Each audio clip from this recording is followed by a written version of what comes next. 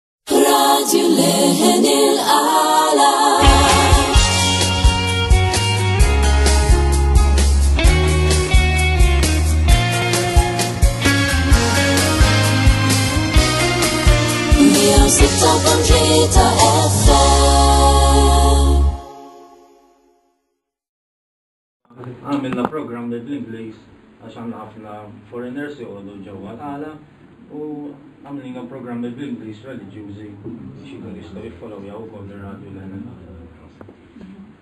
Eh, din skeda oħra għamilna f'Diċembru tkun twila ħames ġimgħat ukoll u skeda Kunċizzjoni Milid billi aħna hawnhekk niċċelebraw il-festa ta' Kunċizzjoni. Ma ħadd piċir ukoll li tista' żorna dan l-istazzjon tar-radju tal-komunità.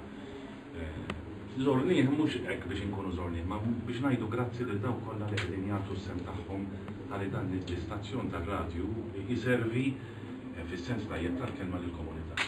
Jiena bħala Prim Ministru waħda mill-affarijiet li tagħtini sodisfazzjon kbir huwa meta nara li l-mezzi ta' komunikazzjoni ta'